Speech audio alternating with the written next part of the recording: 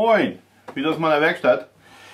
Ja, heute geht es wieder um ein Verbindungsvideo. Ein Video, äh, was für den einen oder anderen sicherlich interessant sein wird. Oder ich hoffe natürlich für, den, für viele interessant sein wird. Äh, um was für ein Video dreht es sich heute? Äh, es wird ein Video, wo es darum geht, eine Verbindung herzustellen, die sich wieder lösen lässt. Und das ist für den einen oder anderen sicherlich sehr interessant. Und ich meine jetzt nicht von lösen lässt, dass ich mit einer Schraube was reindrehe und die Schraube wieder rausdrehe oder irgendein Hilfsmittel brauche, was ich dann durch irgendein anderes Hilfsmittel wie zum Beispiel einen Schraubendreher wieder auseinanderkriege. Nein, heute geht es um eine Verbindung, die wirklich zusammengesteckt wird, regelrecht einrastet und man auch mit ohne Werkzeug wieder lösen kann. Dazu muss ich sagen, das kann vielleicht dann nicht jeder wieder lösen, das ist wohl wahr, weil man da ein bisschen Kraft braucht in der Hand, um das Ganze zu lösen, weil es muss ja auch stramm sein und vernünftig fest sitzen. Da könnten also Kinder Probleme mitkriegen oder zierliche Frauen bzw. zierliche Männer, die nicht wirklich Gewalt in den Händen haben, diese Verbindung wieder zu öffnen. Ist eine sehr schöne Verbindung und ich freue mich auch schon drauf, äh, die euch gleich zu zeigen und dass wir die gleich zusammen mal zusammenbauen. Ich habe sie natürlich als Muster im Echtholz ausprobiert. Im Echtholz hält sie sehr gut. Äh, die Variante, die wir heute machen, sieht ein wenig anders aus als die, die ich als ähm, Muster für mich gemacht habe. Man muss ja auch erstmal gucken, ob das Ganze so funktioniert, was man sich da so vorstellt. Und ja, ich muss sagen, was ich mir da so zurechtgetüftelt habe, das passt und geht auch. Ja. Und ich bin gespannt, äh, ob das auch am Plattenwerkstoff sich so bewährt. Und das werde ich heute mal ausprobieren. Heute werde ich diese Verbindung also am Multiplex ausprobieren. Sie wird auch ein wenig, vielleicht ein wenig anders aussehen als die, die ich jetzt euch jetzt kurz zeige, also mein Musterstück. Wir haben also äh, zwei Löcher, bitte nur die da oben beachten und wir haben das Gegenstück, es sieht so aus, ein bisschen größer wie eine Stimmgabel, ist hier aber wie so ein, ja, wie so ein Pfeil, möchte ich sagen, äh, angespitzt, angeschnitten. Und jetzt, wer ein bisschen denken kann, weiß, wie das Prinzip wahrscheinlich funktionieren wird. Und zwar rutscht diese Verbindung jetzt in diese beiden Löcher und zwar stramm. Das heißt, man kriegt die so nicht rein, man muss hier ein wenig Druck aufüben. So, ihr seht schon, dann wird es vorne ein bisschen schmäler. Und das meinte ich gerade, das ist nicht leicht. Ich meine, ich habe jetzt sehr viel Gewalt in den Fingern.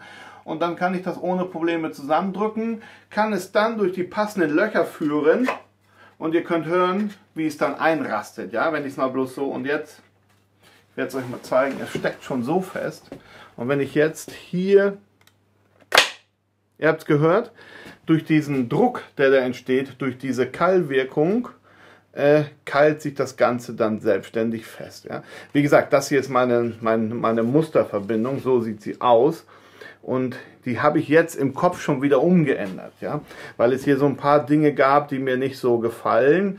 Dies hier würde ich gerne rund machen, das hier natürlich rund, so wie dieser Mittelsteg. Dann hier die Kanten schön abfräsen, damit das rund ist, weil wenn ich sie wieder auseinandernehme, wofür die Verbindung ja gedacht ist, soll es auch ein bisschen angenehm sein, damit ich es wieder zusammendrücken kann. Ja? Also das war so der Grundgedanke. Das Ganze mache ich aber aus dem Plattenwerkstoff, also jetzt nicht, ihr seht ja, im Echtholz geht es auch. Natürlich kommt es ein bisschen auf die Holzart an, äh, ob ich jetzt bloß Fichte nehme oder Kiefer oder ein anderes Holz. Alleine auch schon deswegen hier, wegen dem Zusammendrücken. Vielleicht muss man dann die Länge der Gabel, möchte ich mal sagen, noch ein bisschen verlängern, um das Ganze ein bisschen besser zusammendrücken zu können, weil ein Hartholz sicherlich nicht so einfach sich zusammendrücken lässt wie Kiefer. Ja, das soll sie sein, die Verbindung, die wir heute basteln. Wie ihr seht, passt sie so nicht ins Loch. Man muss wirklich aktiv das zusammendrücken, bis diese beiden Keile in dem Loch verschwunden sind. Und jetzt, alleine durch die Keilwirkung, die wir da oben angeschliffen haben, können wir das Prinzip also zusammenstecken und es geht sofort in seine Ursprungsform zurück und keilt sich somit also fest. Ja. Die Frage ist, wo kann man so eine Verbindung benutzen oder gebrauchen? Da fragt ihr mich schon wieder zu viel. Kommt halt auf die Situation an. Was ich mir gut vorstellen kann, vielleicht um einen Tisch zusammenzustecken. Da denke ich so ein bisschen an an den Möbelbau hinsichtlich äh, Camping zum Beispiel. Ich brauche das Material für ein paar Tage und danach möchte ich es wieder gerne klein, möglichst klein verstauen. Ja? Also wir können hier in der Tat lange Hölzer über eine gewisse Länge super verbinden. Ja? Und können sie aber auch ohne Werkzeug wieder auseinandernehmen. Also ihr seht schon, auch ich brauche da schön Gewalt, um das da wieder auseinanderzunehmen. Zusammenstecken ist gar kein Problem. Man führt eigentlich nur die beiden Keile halt in das Loch hinein und steckt es dann zusammen. Ja? Und schon rasselt das Ganze wieder sehr formstabil ein. Das ist sehr fest. Und das Ganze machen wir heute mal im Plattenbau und zeige euch genau, wie ich das hier aufzeichne und woran man denken sollte. Ja, jetzt muss ich eben meinen Tee zu Ende machen. Ähm, heute habe ich mal einen klassischen Tee gemacht, schön Thiele-Tee. Ja, mit Tee-Ei sagt man dazu bei uns, ein Tee-Ei oder ein Teesieb, aber es kann sämtliche Formen annehmen, so ein Tee-Ei. Und dann hat man seinen Becher Tee Schon fertig. Wie ist meine Laune heute? Könnt ihr jetzt auch seit neuestem an meine Bechern ablesen. Meine Laune. Heute ist meine Laune recht gut, weil ich wieder ein Video drehen darf. Und von daher freue ich mich schon, das mit euch zu gestalten. Ja, da ist sie, die lösende Verbindung für den einen oder anderen vielleicht eine sehr praktikable Lösung für irgendein Problem beim Camping oder beim Gartenmöbelbau vielleicht. Es muss ja nicht in dieser Dimension bleiben. Es kann ja auch viel größer, also größere Dimensionen annehmen, wo man dann halt vielleicht auch mal einen Tisch auseinander nimmt. Das kann ich mir auch gut vorstellen als Tisch Zwischensprosse unten zwischen den beiden Beinen, wo man das dann einrastet, klack, klack. Und wenn man den Tisch wieder auseinandernehmen will, kann man halt hier diese Verbindung lösen, nimmt diese, den Stabilisator zwischen weg und kann dann die Beine wegklappen. Oder lasst euch da einfallen, was ihr wollt, wo ihr diese Verbindung nutzen wollt. Ja? Dann habe ich überlegt, vielleicht auch für ein äh, sagt dem Gästebett in etwas größerer Form natürlich, dass man Gästebett auf diese Art und Weise schnell zusammensteckt, irgendwo hinstellt und dann kann halt der Besuch da nächtigen und man steckt das dann ein, zwei Tage später einfach wieder auseinander. Ja? Also ich glaube, da sind viele Gedanken und viele Ideen noch möglich und alles ein bisschen weiter auseinander dehnbar hinsichtlich dieser Gedankengänge, aber das ist so mein erster Gedanke. Hier natürlich hier hätte auch abgerundet werden können, habe ich aber nicht dran gedacht. Wie gesagt, das war jetzt mein Gedankengang, das ist dabei rausgekommen. Könnte man natürlich alles noch schön formmäßig gleich machen, das abrunden, wenn ich da reinfasse, das ein bisschen angenehmer ist. Ob das jetzt so viel hält hier, weiß ich nicht. Also in meiner Probeverbindung ja, kann ich sagen, hält eine ganze Menge aus. Aber auf ein Bett übertragen, auf einen Stuhl übertragen, auf einen Tischquerriegel oder so kann ich euch da keine Erfahrung geben, wie stabil diese Verbindung ist. Man könnte sie natürlich stabilisieren, indem man hier, weil da entstehen ja nun zwei Löcher, da noch zwei Keile reinklopft und das Ganze ist dann so stabil, dass es nicht mehr auseinander geht, weil dieser Keilmechanismus, den wir hier haben, ja noch weiter zusammengedrückt wird. Also es wird dafür gesorgt, dass es wirklich da bleibt. Ja, es ist eine Verbindung mit Klick. Klick, Klick und sie ist drin und hält bombastisch, muss ich sagen. Was man da nun mit verbinden kann, sei erstmal dahingestellt, aber den einen oder anderen wird sicherlich diese Verbindung in einer gewissen Situation vielleicht weiterhelfen. Ja? Wer weiß. Wir machen sie heute einfach mal und jetzt im Multiplex. In Echtholz geht sie. Ich habe es ja gesehen und habe es ja auch selbst ausprobiert. Man muss ein bisschen umdenken bei dieser Verbindung. Ich habe nämlich hier auch einen Fehler gemacht. Hier habe ich mir auch Löcher angezeichnet, wie ihr seht. Die waren aber so breit, dass es zwar reingeht, aber es nicht zu dieser Kallwirkung kam. Ich habe die Löcher also zur falschen Seite breiter gemacht. Ja? Also null Kallwirkung. Sie muss also ein bisschen zurückstehen, damit die Löcher da wirklich... Ja, gut. Fangen wir an. Warum habe ich sie euch im Vorfeld schon gezeigt? Weil ich wollte sie erst an die Tafel malen, aber ich dachte, bevor es dazu ver, äh, zu, zu, zu Verständlichkeitsproblemen kommt, äh, zeige ich sie euch gleich und dann seht ihr jetzt, wie ich dazu gekommen bin und wie man sie macht. Äh, ich werde sie wahrscheinlich in dem Video etwas anders gestalten als diese hier. Aber ich weiß es auch nicht, noch nicht genau. Hm, es gibt also mehrere Möglichkeiten. Ich habe mir auch schon Gedanken gemacht, wie man die auf einer etwas breiteren äh, Ebene verbinden kann, als nur auf, das sind jetzt äh, 100 mm, die wir hier haben, 100 mm Verbindung möchte ich sagen. Ähm, da geht es sehr gut. Und genial wäre es natürlich, wenn ich auch viel breitere Dinge mit verbinden kann. Vielleicht mit drei, vier solchen Zacken oder nur zwei und in der Mitte sind noch weitere Haltezacken, dass man auch mal einen Bettkasten damit zusammenstecken kann. Wenn man dann hier Keile noch zwischenklopft, ich glaube, dann ist das sehr stabil. Das, der Nachteil ist einfach bei der Verbindung, hier sieht es ja schön aus, aber hier hat man dann halt die offene Verbindung, die man so sieht. Wenn das natürlich in einer Flucht ist, was hier jetzt nicht ist, dann hätte man in diesem Rahmenbau am Ende immer so eine Ansicht. Ja, das wäre der Nachteil. Aber für Holzfreaks, die auch mal eine Verbindung deutlich darstellen wollen, vielleicht bei einem Tisch oder so, wenn man so die Tischplatte natürlich drauf macht, ist ja auch möglich, dass man auch wirklich mal sieht, wie wird die Tischplatte drauf gehalten. Ja, gut. Dann wollen wir mal loslegen. Ich werde mal gucken, ich habe noch irgendwo ein bisschen Multiplex, da habe ich es schon hingestellt. Mein Multiplex. da steht's. Und zwar habe ich mir da schon einen Streifen rausgesucht. Multiplex muss ich noch kurz überschleifen, weil ich da mit Füßen drauf rumgelaufen bin. Was haben wir hier? Was habe ich hier für eine Stärke? 16 mm Multiplex.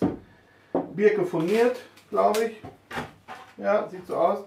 Und die werden wir jetzt dafür verwenden, für diese Verbindung um sie mal im Plattenwerkstoff umzugestalten. Ich bin nämlich gespannt, ob am Plattenwerkstoff das Ganze auch so zusammenbiegbar ist oder ob das abbricht.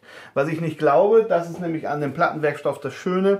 Es ist ja kreuzweise halt verklebt, verleimt und somit haben wir vielleicht noch eine bessere Stabilität als im Echtholz. Was ich mir aber vorstellen kann dabei, dass man das dann noch schlechter wieder zusammendrücken kann. Und da bin ich echt gespannt, wie sich da... Äh, das Multiplex verhält. Aber das werden wir sehen zusammen und wir fangen einfach mal an, uns da eine schöne Verbindung zu zaubern.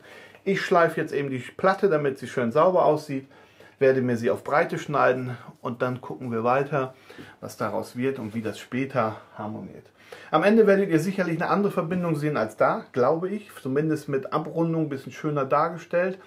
Und wo ich mir Gedanken gemacht habe, ich zeige es euch auch nochmal, damit ihr gleich wisst, warum ich sie vielleicht abändere. Und zwar habe ich mir Gedanken gemacht hinsichtlich dem, wir haben hier nur diese kleine Auflage. Wie abbruchsicher ist das hier? Ja? Bricht mir diese Nase vielleicht ab? Oder bricht mir da oben der kleine Keil ab da? Da da traue ich nämlich der Multiplex, also dem anderen Plattenwerkstoff, ein bisschen mehr Haltekraft zu als bei Echtholz. Ich meine, das ist jetzt Kiefer hier, brauchen wir nicht drum reden. Das kann hier leichter wegplatzen als äh, bei Buche oder Esche. Und darum möchte ich das gerne mal jetzt im Werkstoff Platte benutzen. Ich benutze ja sonst nicht diesen Werkstoff, aber heute werde ich diese Verbindung mal daraus machen, um zu gucken, wie da unterschiedlich die äh, Verbindung ist. Wie gesagt, es hängt ja hier auf, steht hier ja auf und hier hängt es nur an dieser kleinen Nase. Sicherlich kann man die Nase länger machen und auch ein bisschen steiler. Dadurch wird das Loch oben natürlich größer, wo es durch muss. Ist auch ganz klar. Aber man kann es ja auch von hier hinten nochmal verkeilen durch die Löcher, die da entstehen. Und von daher könnte das den einen oder anderen vielleicht interessieren. Ja, Verbindung mit Klick. Wollen wir mal gucken. Gut, dann schleife ich jetzt die Platte, schneide mir die auf den Streifen. Ich glaube, ich nehme auch wieder 100 mm, das ist ganz gutes Maß. Äh, oder 120 mm werde ich sie wahrscheinlich schneiden. Und dann zeichnen wir zusammen mal auf, wie ich das hier gemacht habe. Wenn man hier nämlich nicht aufpasst und sich versieht, dann ist ganz schnell irgendwo was falsch abgeschnitten. Ich weiß, wovon ich spreche. Und von daher machen wir das zusammen gleich. Jetzt habe ich hier meine beiden Multiplex-Streifen die wir jetzt verbinden wollen. Und die werde ich jetzt mit meiner Verbindung so mittig hier mal verbinden. Warum hier mittig? Ich möchte nachher mal gucken, wie hier die Hebelwirkung ist, ob man da ein bisschen dann rumbrechen kann. Wenn es kaputt geht, geht es halt kaputt. Aber ich möchte auch gerne so ein bisschen testen, wie stabil ist diese Verbindung. Ja? Okay, fangen wir an. Ähm, 16 mm meine ich, habe ich gemessen. Sind ja nicht ganz 16, mehr so 15, 15,8 oder so, sind nicht ganz 16 mm. So, legen wir uns erstmal die Länge fest, wie lang soll diese Verbindung werden. Hier nochmal die alte, der erste Gedanke von mir, das habe ich da genommen für ein Maß. Da habe ich genommen 150 mm, gehen wir mal auf 180 mm jetzt. Einfach mal ein bisschen länger um besser greifen zu können, weil das ist hier ein bisschen knapp, muss ich sagen. Versuchen wir es mal mit 180 mm. So, 180 mm. Fein Bleistift benutzen, einmal einen dünnen Strich ziehen, zack. Da haben wir jetzt, das sieht eigentlich ganz gut aus. Dann habe ich mir überlegt beim letzten Mal, dass die, die stehen bleiben, also diese Stücke, wo es einrastet, quadratisch sein soll. Ja? Das heißt, ich muss jetzt hier irgendwo 16 mm markieren und hier habe ich auch 16 mm, also einmal die Breite stehen gelassen. Das hier soll aber doppelt so lang werden, weil ich finde, an diesem kleinen Haken alles anzuhängen ein bisschen zu knapp ist. Ja?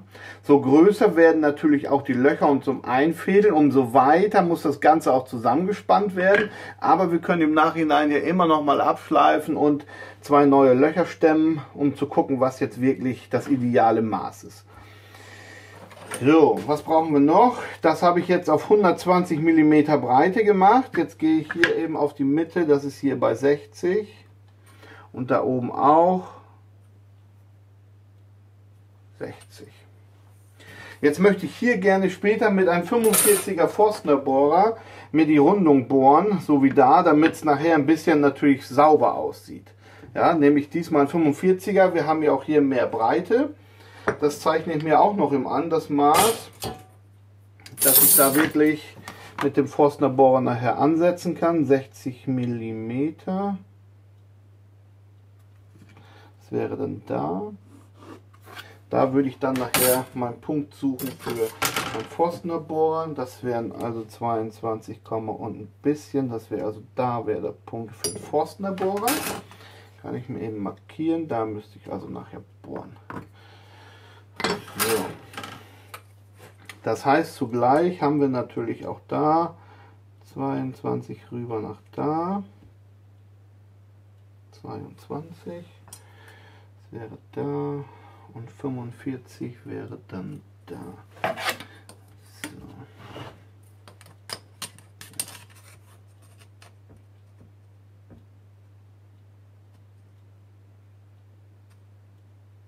So. 45 wäre dann da.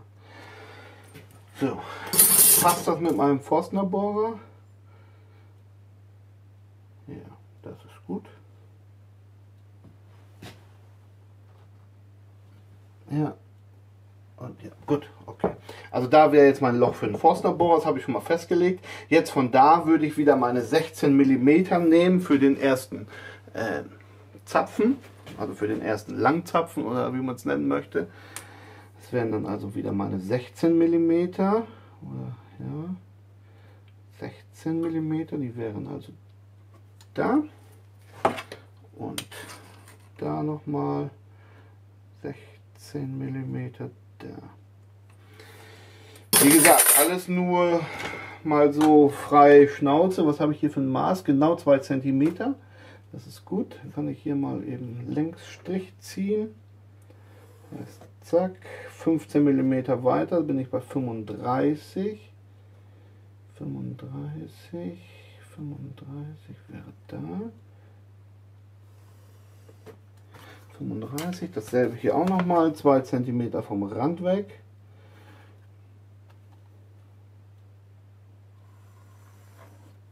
Und dann 35 vom Rand weg.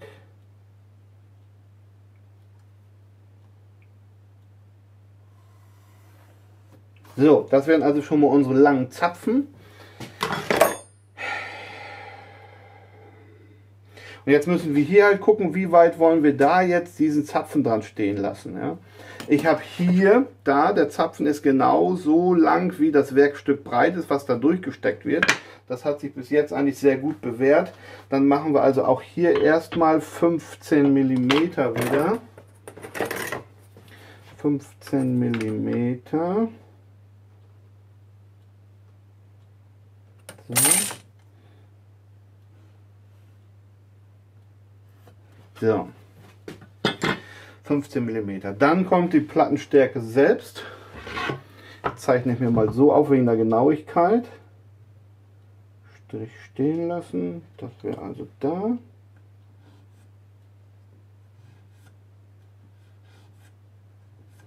So. Das heißt, das muss weg. Das muss weg. Und wie breit mache ich jetzt den Zapfen insgesamt? Habe ich gerade gesagt, das Doppelte. Das heißt 3 cm. Da wäre also die Kante und dann müsste der so ein bisschen schräg weglaufen. Auch da in 3 cm. Wäre dann da. Da müsste es jetzt schräg weglaufen. Ja, dann habe ich hier auch, werdet ihr wahrscheinlich jetzt gerade nicht verstehen, was ich meine, aber werdet ihr sehen. Dann hole ich mir mal kurz meine Schmiege raus. Mache jetzt einfach mal so einen Winkel Pi mal Daumen. Da kommt es ja nun nicht so drauf an. Machen wir da schräg. Dasselbe übertragen wir uns einmal hier. Könnt ihr jetzt gerade nicht sehen. Moment. Da auch schräg rüber. So. So sieht es jetzt also aus. Das kommt weg. Das kommt weg. Das kommt weg. Das da drin kommt weg. Und hier eigentlich auch, aber da möchte ich ja, dass das ein bisschen schöner aussieht. Ähm ich muss ja hier wieder meinen Konter sitzen lassen, hier mein, meine Konterecke, so wie da. Entweder mache ich das so oder ich habe überlegt, ich lasse das ganze Holz drin, aber dann kann ich das schlecht wieder auseinandernehmen, ja? weil ich das dann nicht mehr so flexibel zusammendrücken kann. Das wäre jetzt die Frage. Wenn ich hier natürlich jetzt eine schöne Rundung setze und da auch eine schöne Rundung setze, das mit der Oberfräse nachher schön äh, ausfräse, dann sieht das sicherlich gar nicht mal so schlecht aus. Ja, ihr könnt hoffentlich meinen Gedanken folgen gerade. Äh, Habe ich dann irgendwie einen kleinen Kreis, was nehme ich denn da? Hm, wenn ich jetzt hier auch erstmal wieder 2 äh, cm stehen lasse, bevor ich überhaupt irgendwas mache. Beim Multiplex sollte das gehen. So, dann wären wir da und wären wir da. So.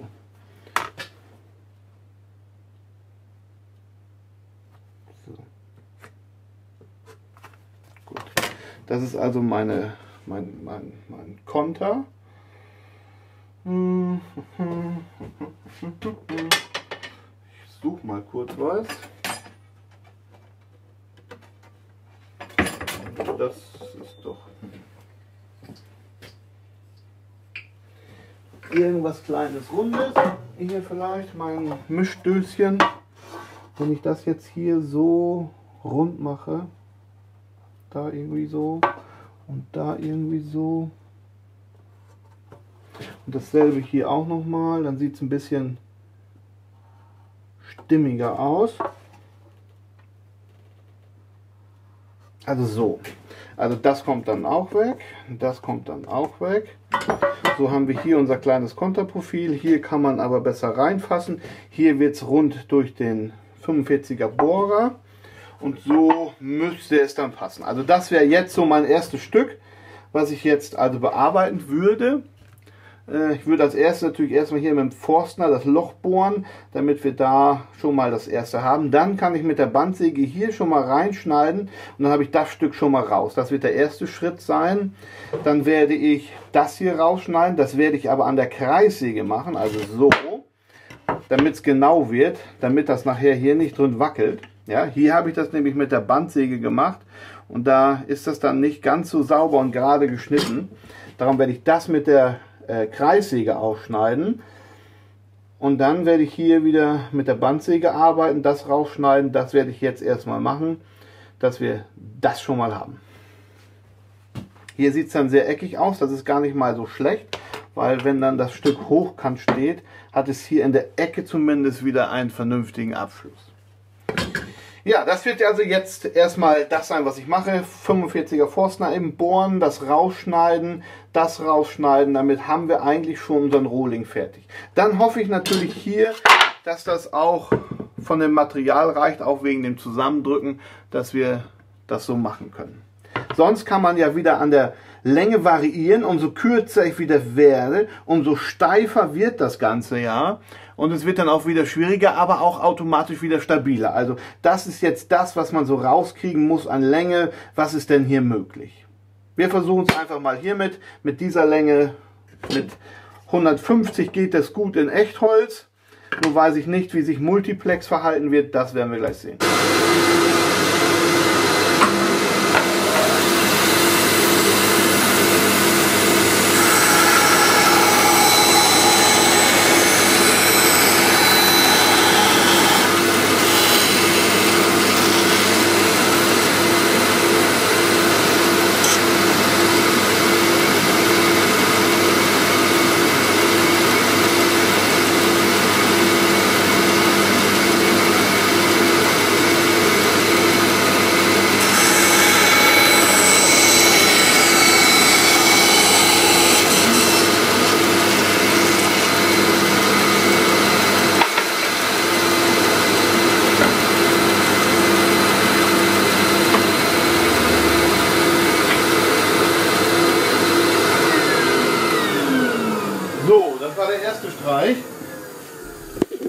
gesehen, ich habe erstmal das Loch gebohrt, das 45er, und habe jetzt dazwischen das Ganze rausgeschnitten. Habe jetzt hier eine schöne Rundung mit drin.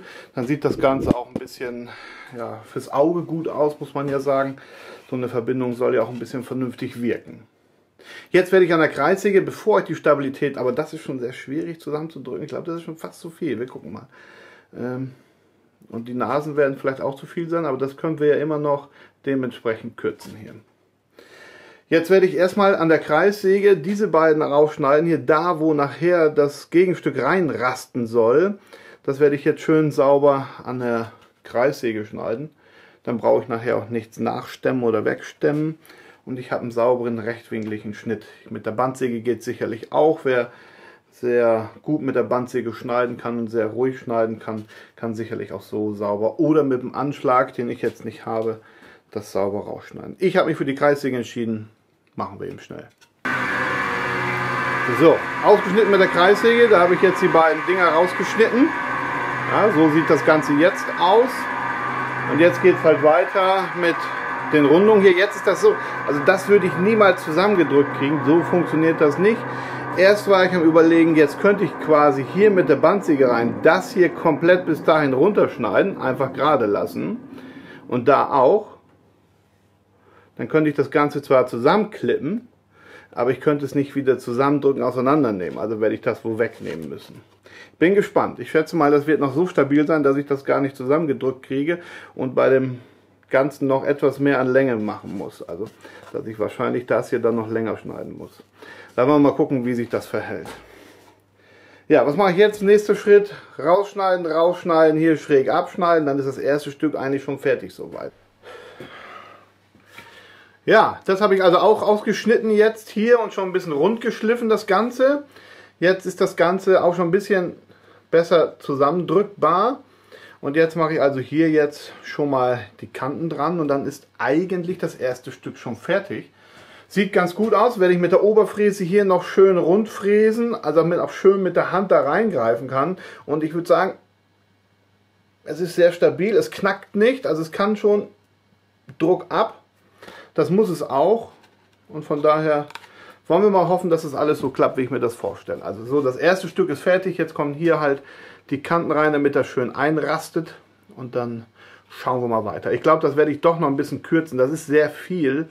Äh, ich werde da vielleicht die Hälfte nochmal nehmen. Das wirkt mir doch ein bisschen sehr tief, wo er dann einrasten muss. Umso größer müssen die Löcher ja auch werden, wo es einrasten muss. Die müssen dann doppelt so groß werden. Und um das zu vermeiden, werde ich da wahrscheinlich noch mal ein bisschen mehr wegnehmen. Da kommen wir jetzt zu dem Aufzeichnen des Gegenstückes. Auch hier wieder keine allzu große Kunst. So habe ich da mal einen Bleistift gelassen. da, wir suchen uns erstmal einen Punkt, wo die Verbindung natürlich greifen soll. Das ist also, der ist zu kurz immer noch, der Hoffmann, der wird auch nicht länger. Manchmal wohl, aber in diesem Fall nicht. Dann haben wir hier wieder unseren Strich. Jetzt haben wir also diese Breite wieder von der eigentlichen äh, Materialstärke, die wir hier uns wieder übertragen. Ja, da ist er. Und jetzt müssen wir halt sehen, wo die Löcher rein müssen. Ja, jetzt können wir uns da das Ding hinlegen, da wo er nachher sitzen soll. So soll er ja sitzen. Das heißt, wir haben jetzt hier unsere eigentliche Lochmaße. Ja, da muss also das Loch hin. So. Wir müssen jetzt nur beachten, wir müssen das Ganze ja zusammendrücken, um das da reinzukriegen. Das heißt, das, was wir zusammendrücken müssen, das heißt, diese Nase muss jetzt da noch mit dazu. Und da sehe ich schon, das wird knapp in meinem Fall. Ähm, da haben wir die Nase. Die muss da noch da mit bei. Das heißt bis da. Und hier ist es dann die Nase nur auch noch dabei muss, die geht dann bis da. Das heißt, wir müssen jetzt ein Loch stemmen. Äh, wo ist mein Geodreieck? Mein Ge habe ich schon wieder weggehangen. Was von da bis da geht. So, ein bisschen rechtwinklig natürlich. Ja.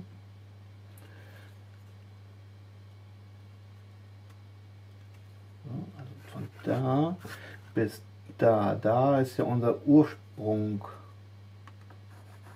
Also das hier muss da weg. Wir müssen also nach innen natürlich größer werden, nicht nach außen. Also außen muss das Maß einfach bleiben. Da hakt er ja hinter. Um das da reinzukriegen, müssen wir natürlich dieses ganze Stück zusammendrücken. Ich glaube, das wird ganz schwer, weil sich das nicht ganz so einfach zusammendrücken lässt. Vielleicht hätte der Schenkel noch länger sein müssen, aber wir probieren es jetzt mal so, bevor ich da zu viel wegnehme und es nachher dann zu lasch wird. Also das muss raus.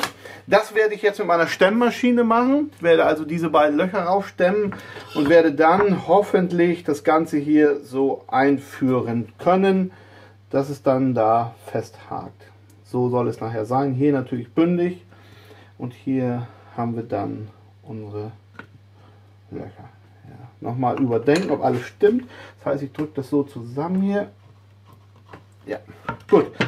Das ist jetzt der nächste Auftrag. Den werde ich jetzt an meiner Stemmmaschine erledigen. Die beiden Löcher raus und dann sind wir eigentlich schon fertig. Opferholz drunter. Und dann kann ich das so stemmen. Das mache ich jetzt. Nächster Schritt. Löcher rein und dann sehen wir uns gleich wieder äh, und gucken, wie es dann weitergeht. Löcher sind drin. Hier haben wir sie jetzt. Nun müsste quasi alles zusammensteckbar sein. Wir haben also hier jetzt die Verbindung, die, wenn sie eingerastet ist, passen sollte von den Löchern. Das tut sie, soweit ich das sehen kann. Und jetzt müsste man das Ganze so weit zusammendrücken, dass es da reingeht. Und das wollen wir mal versuchen. Ja, also ist schon, man kann es bis dahin zusammendrücken, das geht, aber man braucht schon sehr viel Gewalt. Ja, was ich glaube ich erst machen werde, ich werde erstmal hier die Rundung nochmal abfräsen, damit ich das vernünftig zusammendrücken kann, um da einfach ein besseres Gefühl bei zu haben. Ja? Das werde ich jetzt noch machen und dann stecken wir es gleich mal zusammen. So sieht es jetzt aus. Ich habe es jetzt abgerundet schön, damit man es gut anfassen kann. Und ja, was soll ich sagen? Es war vielleicht ein bisschen zu knapp bemessen hier. Ich hatte ja nur 16 mal 16. Jetzt mit der Rundung kann man das schön leicht zusammendrücken, aber vorhin hat es knack gemacht. Hm. Ja, also das ist schon ein bisschen knapp, muss ich sagen. Das müsste dann ein bisschen breiter werden. So, ich habe ja damit gehofft, so ein bisschen den Anpressdruck dosieren können. Vielleicht nur hier abrunden, das war auch noch ziemlich stramm. Habe mich dann dafür entschieden, innen auch noch abzurunden. Und da war es auch wirklich leichter. Zusammenstecken das erste Mal hat auch super geklappt. Ja, hier haben wir also unsere Löcher dazu. Wenn man das jetzt da reinsteckt, das funktioniert auch alles gut. Ja, ist kein Problem. Hier sucht sich das Ganze wieder seinen Weg, aber sobald man, werdet ihr wahrscheinlich gleich nochmal hören, ich habe es versucht zu kleben, aber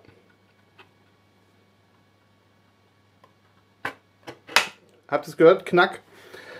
Da hat es leider den einen Arm verabschiedet und von daher war das zu, zu, zu, zu gering gewählt.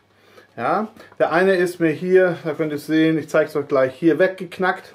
Äh, genau natürlich hier an dem Punkt, wo die Rundung ist, wo der meiste Druck aufkommt beim Zusammendrücken. Also hier, man muss ihn ja zusammendrücken und da ist er mir leider weggebrochen. Ja. Das hat er nicht gehalten, aber ich möchte behaupten, wenn man das etwas dicker macht, dicker hält, die Flanken, oder ich hätte von innen nicht abrunden dürfen, dann wäre das sicherlich gegangen. Also es ist ja fest, es steckt ja auch hier wirklich parallel drin, so wie ihr sehen könnt, hier sitzt da ja in dem Loch drin. Das sind die Löcher, um das Ganze zusammenzudrücken, wo man zur Not Keil reinschlagen kann. Wir haben hier eine bündige Verbindung da, ja, ja jetzt nicht, das ist der abgebrochene, aber hier, der nicht abgebrochen ist, seht ihr, ist da bündig, ja. Und von daher glaube ich, ist die Verbindung nicht schlecht. Hier hat es ein bisschen zu viel Spiel, bin ich ganz ehrlich. Auf der einen Seite habe ich zu viel weggenommen.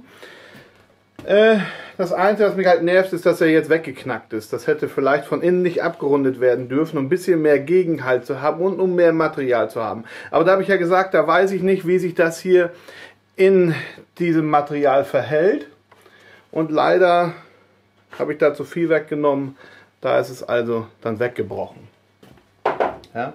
Hier könnt ihr es sehen, da hat er leider Klappmann gemacht. Ja? So lässt sich das gut anfassen. Also auch die Maße für meine große Hand sind gut. Und wenn ich das von innen wahrscheinlich nicht abgerundet hätte, wäre das auch nicht weggebrochen jetzt. Ja, da muss man halt so ein Mittelmaß finden, was äh, da geht. Dann tendiere ich lieber zu meinem Musterstück was ich ja schon gezeigt habe hier, aus Echtholz, ungeschliffen, ohne alles. Und da habe ich sogar bis hier unten weggeschnitten, ja, und nicht schön abgerundet. Dann wäre es wahrscheinlich auch noch formstabiler. Da, das kriege ich nicht durchgebrochen. Das ist Kiefer und das kriege ich nicht abgebrochen. Da muss ich eher dazu, dazu tendieren, dass das eher eine Verbindung ist für Echtholz als für so einen Plattenwerkstoff. Da müsste man natürlich gucken, äh, äh, hier klackt es schön ein, ihr seht schon, die Holzspannung geht sofort zurück, es sitzt schön stramm, das ist das, ist das Muster sogar fast noch besser als das, was ich jetzt im Video gemacht habe, muss ich sagen. Hängt schön stabil fest, ich kann es ohne Probleme zusammendrücken, ohne dass da was abbricht. Ihr seht schon, ich kann das wirklich gut zusammendrücken. Also da kann ich eher nur dazu sagen, dass diese Verbindung ähm, in Echtholz wirklich stabiler ist, weil das Holz einfach sind Fasern, die sind einfach beweglicher, die einzelnen äh, Zellen sind einfach, die können das besser ab, ja. Muss ich wirklich sagen. Ihr hört es richtig einklacken. Ihr hört richtig, wo es auseinander geht. Es wird ja hier durch diese äh, Pfeil Abschrägung möchte ich sagen, durch diese Schmiege wird es ja wirklich dazu gebracht, da reinzudrücken und dass es wirklich schön reinschnellt und wenn es dann sitzt, einrastet. Ne? Also kann ich nur sagen, Echtholz, Kiefer jetzt, haben wir hier ein Maß von 150 mm. Hier habe ich 30 dazwischen, hier ist es quadratisch zu der eigentlichen Materialstärke. Und ich muss sagen, das geht besser. Und ich habe an dem Ding ja gestern und schon ein paar Mal und habe das den Nachbarn schon gezeigt, was er davon hält und so. Tausendmal hin und her und auseinandergenommen. Und es hält immer wieder und es klackt wieder schön ein und geht in seinen Ursprung zurück, ist schön auseinander. Die Stimmgabel möchte ich es jetzt mal nennen. Und hier bei dem Plattenmaterial hat es leider gleich nach dem Abrunden versagt und ist mir da weggebrochen. Genau hier, wo die Rundung ansetzt, ist es weggebrochen. Ne? Da ist es dann wohl materialtechnisch eher eine Verbindung für Echtholz, muss ich sagen. Dann kommt es natürlich darauf an, was nehmt ihr für Holz. Das ist ja nur Kiefer, was ich hier habe. Wenn man da Buche, Eiche, was anderes nimmt, ein Hartholz, könnte es sein, dass man da jetzt zwar nichts kaputt bricht, aber dass es da Ganze, das Ganze ein bisschen steifer wird, dieser Mechanismus. Ja, was soll ich sagen? Es ist eine schöne Verbindung, ja, eine schöne Verbindung. Wie gesagt, sie hat ihre Tücken. Man muss erstmal so die ganzen äh, ja, Maße festlegen und vielleicht auch mal ein, zwei Mal versuchen, was jetzt das beste Maß ist, damit es stabil ist und auch wirklich funktioniert. Wie gesagt, Plattenwerkstoff kann ich nicht empfehlen. Also bis jetzt, was ich zumindest hier versucht habe, Vielleicht hätte ich es nicht abrunden dürfen, da ist er jetzt weggeknickt. Aber sonst finde ich, sieht sie schon sehr spacey aus, ja, so wie so eine Stimmengabel. Die Stimmengabelverbindung kann man ja fast sagen, weil sie klappt ja auch so schön rein. Sie gibt ja auch noch einen Ton von sich, ja. Also eine schöne Stimmengabelverbindung. Hier jetzt natürlich nur einfach ausgeschnitten, nicht großartig mit Rundung verziert, aber ich muss sagen, in dem Echtholz geht es einfach besser. Ja? Und trotz dieser kleinen Nase ist es echt wirklich eine Verbindung mit Klick. Ja? Und es sitzt. Ja? Springt sofort zurück, geht auseinander und es sitzt wieder fest drin. Ja? Löcher und einfach wieder zusammenstecken. Wie gesagt, und wenn man das paar Mal eingesteckt hat, fädelt sich das besser ein und klackt auch schön zusammen und hält. Ja, wie gesagt, gegebenenfalls kann man ja hier auch nochmal äh, zwei Keile reinmachen, die dafür sorgen, dass die, ja, ich nenne mal Klemmengabel oder Stimmengabel auch wirklich auseinander bleibt. Wenn man es dann nimmt, nimmt man die Keile wieder raus, drückt einfach mit zwei Händen das Ganze zusammen und nimmt. Also hier kann ich es wirklich nicht kaputt machen.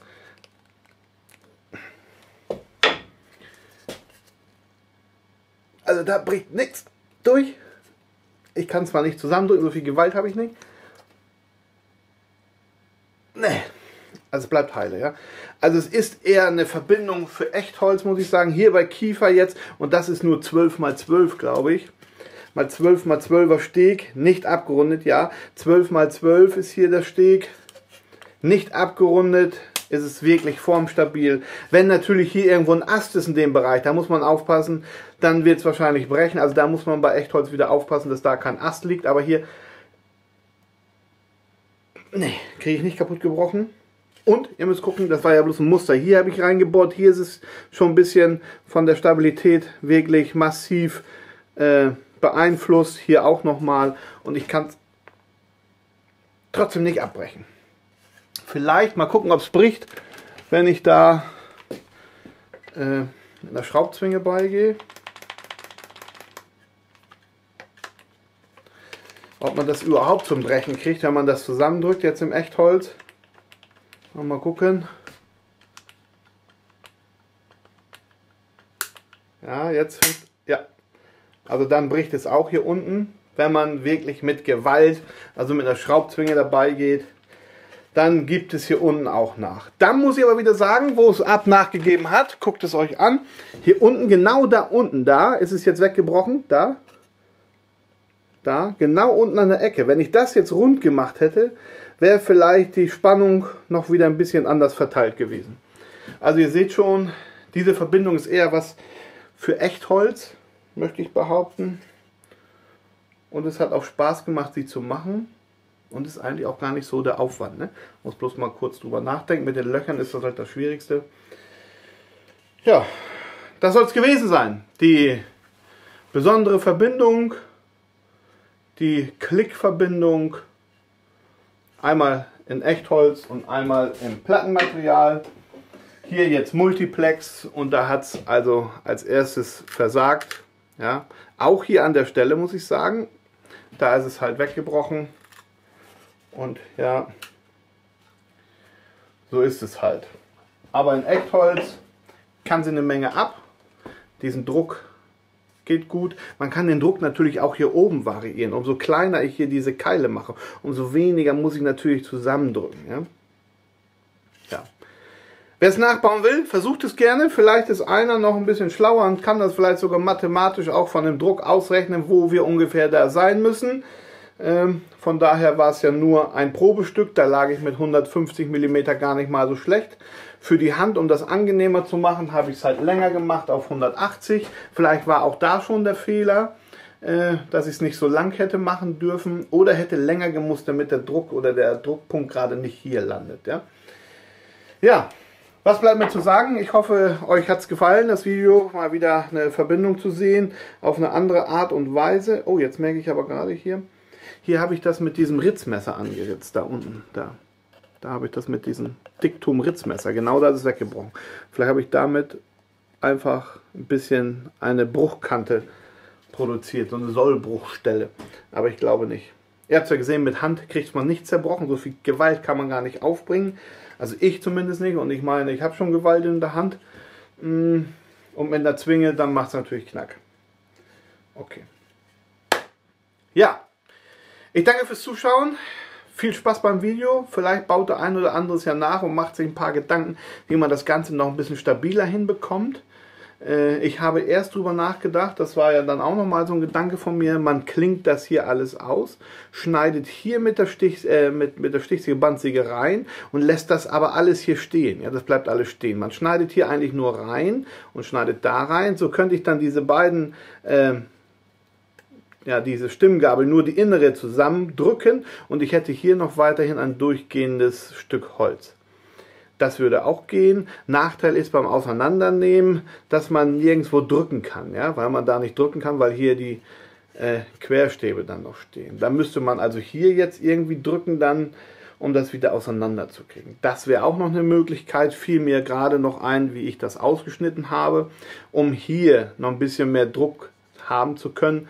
Ich hätte ja erst das ausklinken können, dann mit der Bandsäge hier rein, reinschneiden und hätte dann hier auch mein ganzes Stück stehen gehabt. Ja? Das wäre auch gegangen, bloß beim wieder auseinandernehmen. Das wäre also so eine, so eine Geschichte für einmal zusammen, klack, aber so schnell nicht wieder auseinandernehmen, weil ich hier nicht drücken kann. Ja, aber es wäre auch noch eine Möglichkeit. Oder müsste ich was überlegen, dass man dann hier das Ganze vielleicht ein bisschen länger macht und dann von hier das Ganze zusammendrückt. Das wäre auch eine Möglichkeit, da hat man aber hier so einen, so einen etwas langen, so einen langen spitzen Zapfen. Der bricht dann hier oben wahrscheinlich irgendwann ab, wenn ich da Druck drauf bringe. Ja, war ja einfach mal nur eine Idee und gar nicht so schlecht, finde ich. Mal wieder ein bisschen Bastelstunde und den Grips benutzen. Und ich hoffe, es hat euch gefallen. Vielleicht hat der eine oder andere noch eine andere Idee setzt das vielleicht noch ein bisschen anders um. Ja. Die Stimmgabel. Die hoffmännische Stimmgabel. So nenne ich sie. Die hoffmännische Stimmgabel. Die hoffmännische Stimmgabel. Weil sie klackt ja auch ein, wenn sie da richtig einrastet. Also sie macht ja auch Musik, die Verbindung. Ne? Ich hab's gehört. Da ist sie. Selbst jetzt, wo sie gebrochen ist, ist sie noch recht stramm, muss ich sagen. Ja, also Holz kann einfach mehr ab. Wenn da auch mal so die Hälfte der Fasern abbricht, sind die anderen ja noch da, also die, die, die, die Holzzellen. Ja? Das ist ja dann noch nicht gleich ganz zerstört. Bei so einem Plattenwerkstoff ist es dann schon wieder schwierig. Wenn der natürlich bricht, das sind alles verleimte, übereinandergelegte äh, Platten, möchte ich sagen, in verschiedenen Faserrichtungen. Darum wundert es mich, dass es gebrochen ist. Aber es ist halt auch nur ein Plattenwerkstoff, muss man einfach so sagen. Er ist einfach unflexibel und daher ist das im Plattenwerkstoff wahrscheinlich nicht so gut. Ja, die Stimmgabelverbindung ist also nur was für Echtholz. Das haben wir also festgestellt, sind wir wieder etwas schlauer. Ihr habt eine Verbindung gelernt die man vielleicht so machen kann. Wenn man sie ein bisschen ausklüngelt, könnte das vielleicht sogar eine schöne Alternative sein für eine Verbindung, die man öfter lösen muss und wieder zusammenstecken kann, muss, wie auch immer. Ja, mir hat es Spaß gemacht und wir sehen uns das nächste Mal wieder auf meinem Kanal. Natürlich Küstenholz und nicht vergessen abschalten. Tschüss, bis zum nächsten Mal.